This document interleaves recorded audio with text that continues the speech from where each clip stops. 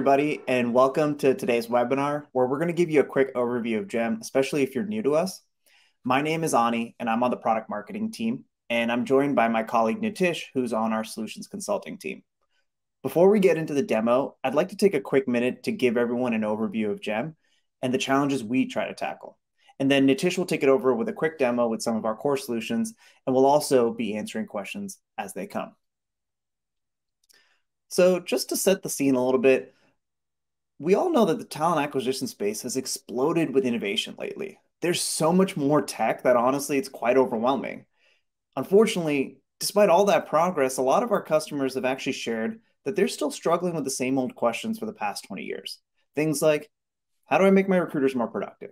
How can we consistently deliver hires that my company needs when they need them and then also accurately forecast? And lastly, how can we make better, more informed decisions backed by data so that our business is running strategically?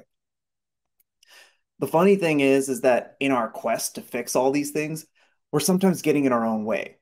Case in point, the average enterprise recruiter is handling 20 to 25 TA tech tools daily.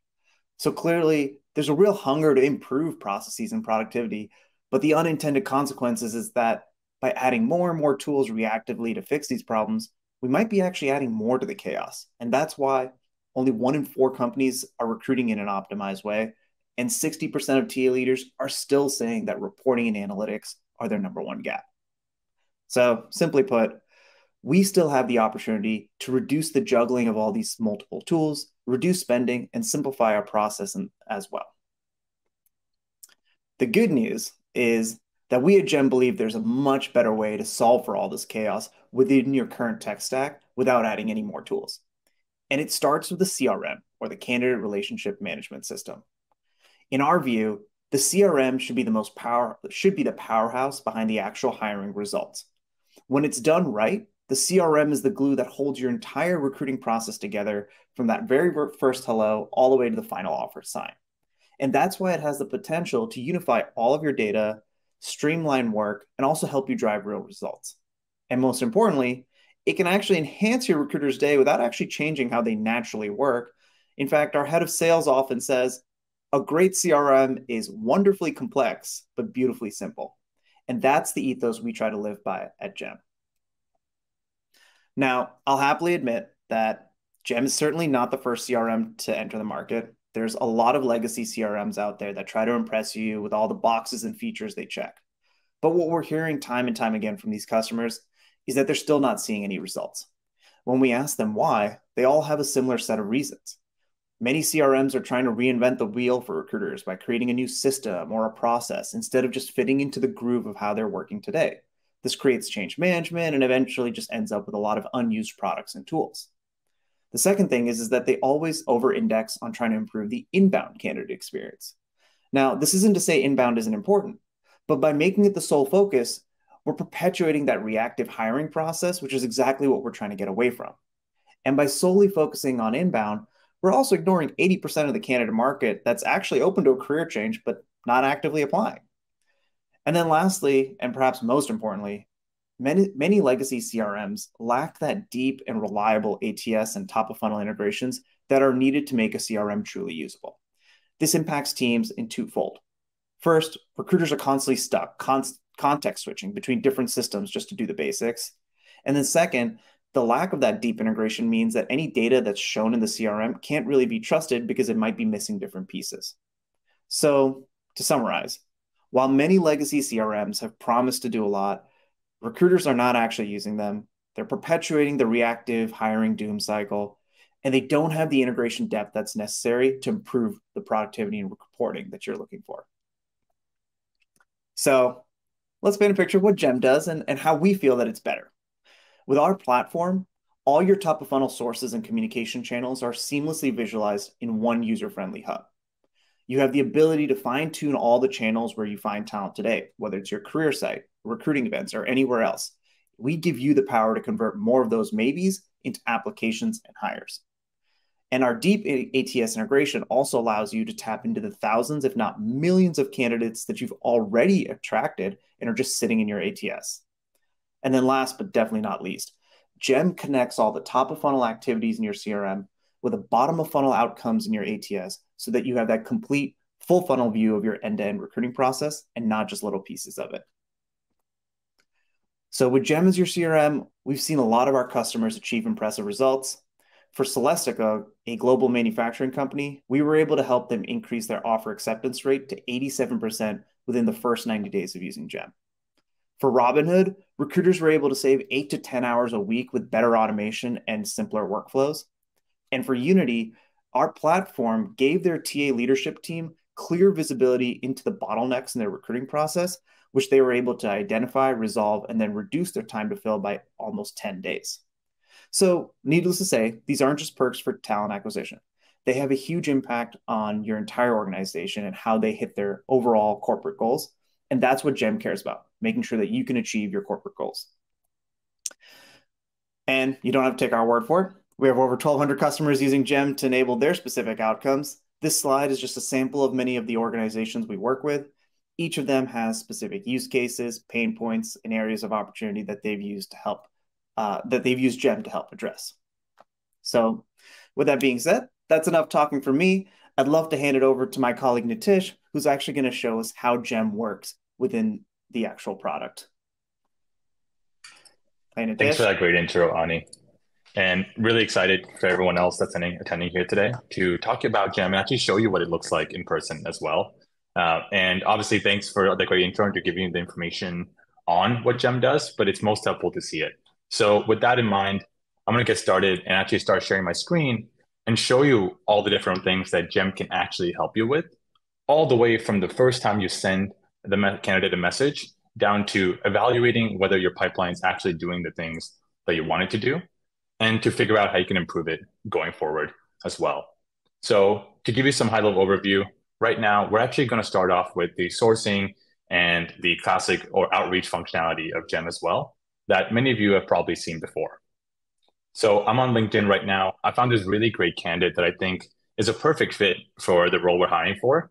And after I did some LinkedIn Boolean searches, I stumbled onto his profile and I want to reach out to him and add him to our CRM so we can keep track of them going forward as well.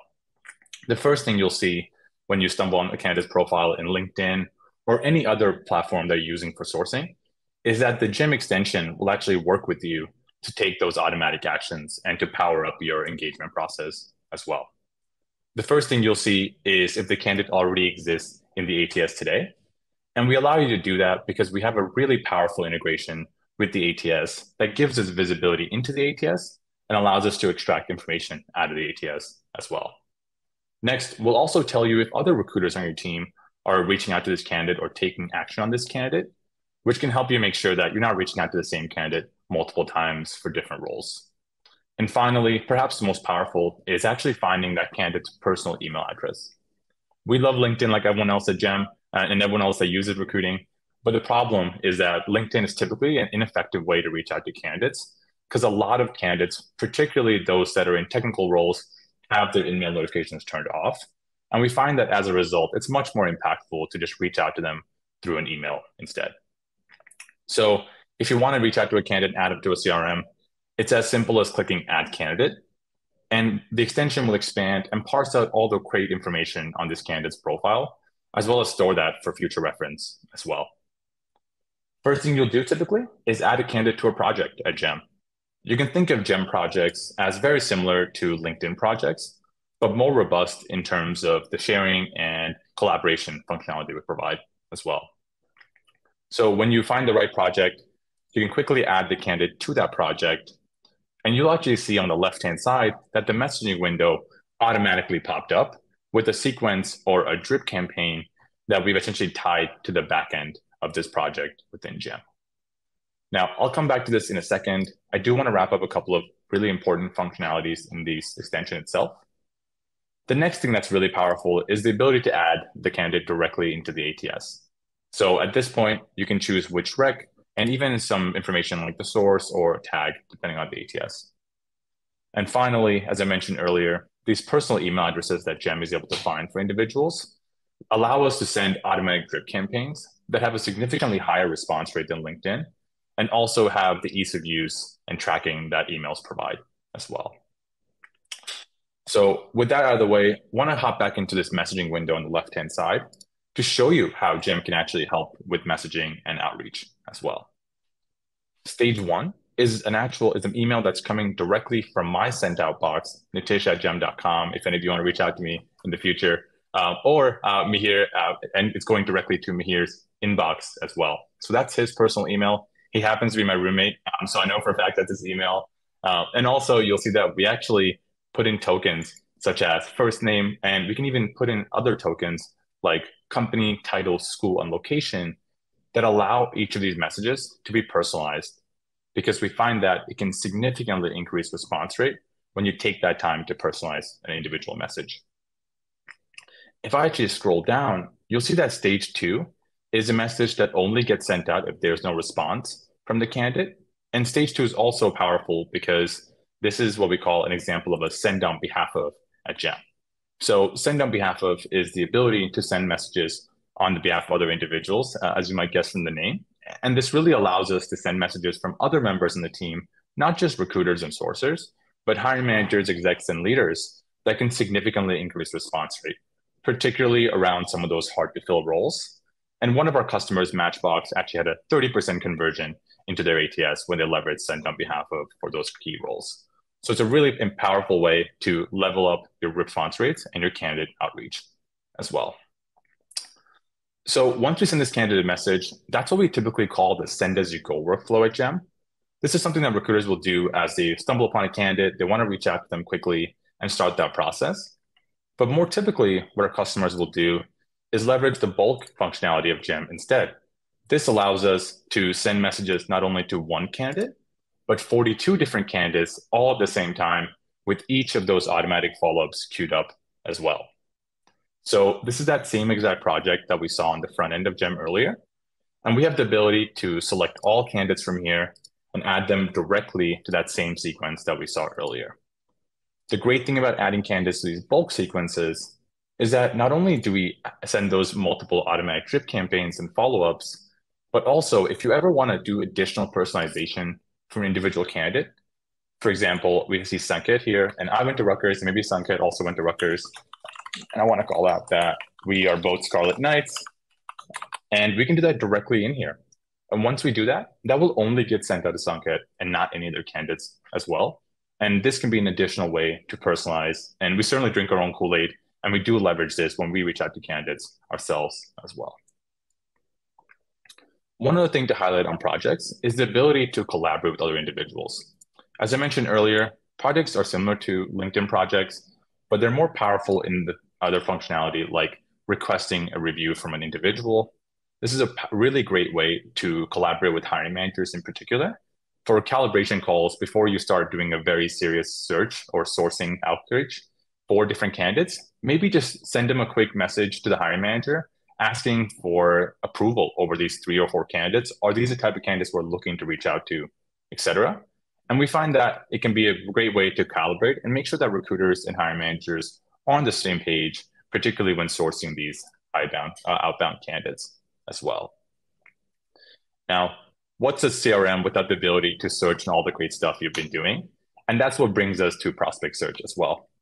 So not only does GEM help you reach out to candidates, automate those responses, and evaluate the effectiveness of each of those messages you're sending, we also want you to be able to resurface prior candidates because we have a core belief that the best candidates are candidates that you've previously talked to before. And that uh, we reinforce that within GEM is using our candidate rediscovery options as well. Candidate rediscovery is the way to actually search directly into your ATS from GEM. So I've actually pulled up a search that we run pretty frequently at GEM. And you'll see that this criteria we've used is that the ATS application was for a specific backend software engineer job in our ATS and even down to a specific rejection reason in our ATS as well. So we've chosen to include decline and reason or rejected because we preferred another candidate because these are the silver medalists that we just couldn't hire, not because we didn't like them or we didn't think they were good fits, but because we had a limited number of roles. So next time we open a backend software engineer role, rather than going out and sourcing uh, 33 new candidates, we highly recommend leveraging these high quality candidates first, reach out to them, and then find those other candidates out in the cold as well. One of the advantages of using candidate discovery is that we find that they have a 20% higher response rate than cold source candidates, which is fairly intuitive given these are candidates that had an experience with their company and have built some form of relationship as well. So obviously, as you can see, you can add this candidate to a sequence, but I actually recommend doing something different. Rather than sending a candidate a classic email sequence that's a little bit more hard touch and talks about specific jobs or um, things you're trying to recruit for, maybe send them something like a gem branded campaign. A gem branded campaign is a great way for different teams to send content that's more marketed and really organized around specific messages you want to communicate to your individual candidates as well. We find this to be particularly effective for warming up those cold nurture um, cold candidates, especially ones that are previously applied, by maybe sending them a newsletter or something like this that we did for our holiday season as well. So regardless of how you want to use these, this can be an incredibly diff- uh, incredible way to send a different touch point to a candidate, given that it takes about 14 touch points to usually make that hire. This can be that more light touch approach that moves the needle for candidates as well. The great thing about campaigns is that you don't have to be a marketing genius to build each of these. These are all component based, and you can certainly just drag and drop content, include videos, HTML links, etc. And all of that stuff is tracked in the back end of Gem as well. So within this talent marketing lens of Gem, there's two other pieces of functionality that's really valuable to our customers. The uh, second piece is the Gem campus forms or Gem forms in general. Gem forms are a great way to have candidates essentially ingest themselves directly into our CRM. So obviously we have the ability to go out and add candidates using our extension or via CSV upload, but it's always great to have candidates that just fill out the form and join Gem themselves. The way you can leverage this is either for the campus event check-in form like I've developed here. This is an example of a form you can completely create yourself, ask various questions, and organize candidates into different projects based on those answers. Or our customers also use the same functionality to develop talent communities as well. But particularly with that events and in-person uh, event um, internship and um, recruiting lens, I do want to also show another use case of our Gem talent marketing functionality in that specific place as well. We have this concept of Gem pages that are microsites that can be powerful resource hubs for various on-campus events or for different initiatives that your team is running, like maybe Women in Tech or your diversity initiatives. So regardless of how you want to leverage these Gem pages, they can be a powerful resource hub. And also we have the ability to inject, put um, forms directly into this any content that is relevant to you, and even the jobs list itself. So this can go directly into your ATS and show your open jobs if you want to specifically market those when you're on campus or on a specific event or something else as well. So the last part of GEM, um, but certainly not least, and perhaps my favorite part of GEM as well, is our reporting functionality within GEM. Our reporting within GEM is what allows us to do really great analysis on all of the things that are working on the top within GEM and also everything that's working within the ATS as well. So for example, this is a Talent Compass dashboard that lets us analyze our high level company wide reporting, all the way from how many hires we're making to where candidates are, down to specific metrics like time to hire, offer acceptance rate, and time to fill. Particularly for time to hire offer acceptance rate, we also allow you to benchmark against other GEM customers. This can be a really powerful way to compare yourself to the market as well. Now, I'm not going to spend too much time on the dashboard because you can make as many as you want, report on different metrics, and a lot of this can vary by the customer and by our user. But I do want to mention we have the ability to schedule reports. So you can share these dashboards with any relevant stakeholders and have it recurrently get sent out, which can be a powerful way to collaborate again within GEM. Now, the last thing I want to touch on before I hand it back to Ani uh, and give you guys a chance to ask some questions is to um, show our pipeline analytics and our other analytics window as well. So this is a little different than dashboards. Dashboards are obviously a high level overview of the company or for different users. Pipeline analytics is typically where a lot of those recruiters will spend to do those more granular uh, and in spe- specific questions and they want to answer as well. For example, this is our ATS and our, all the jobs that came across in the previous fiscal year. We had around 18,000 applicants across 111 jobs that made 114 hires. And we actually have the ability to break this down by gender, race, ethnicity to evaluate our through rates based on different demographics and different cohorts as well. So this is an example of analysis, but you can certainly do much more than this. And I'm sure we'll spend more time talking about this in the future as well. But with that, I want to make sure we do have some um, time to address any questions or, uh, or, anything else. So that's it for me. Um, back to Ani. Uh, happy to kind of spend some time collaborating on anything else or let you wrap up for us as well. Thank you. Thank you, Nitish, and and thank you to our audience. Um, hope you all found this incredibly useful, and see y'all later.